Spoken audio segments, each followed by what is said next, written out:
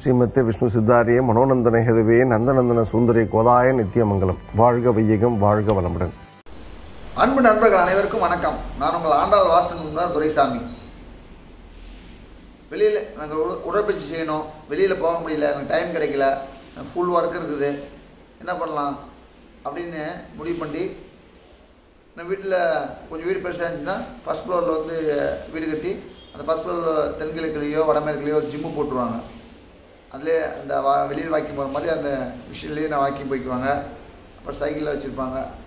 அந்த மாதிரி அப்புறம் ஜிம் மாதிரி எல்லா ஐட்டமும் வச்சுருப்பாங்க.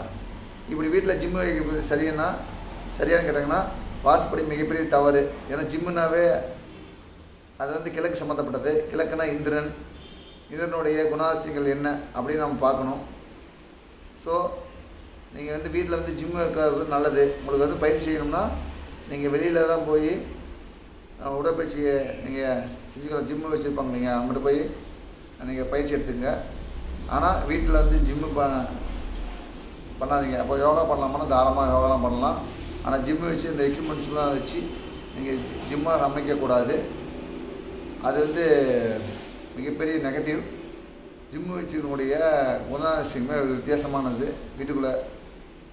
ஸோ அதெல்லாம் வந்து நீங்கள் தெரிஞ்சுக்காமல் இருப்பது ரொம்ப நல்லது.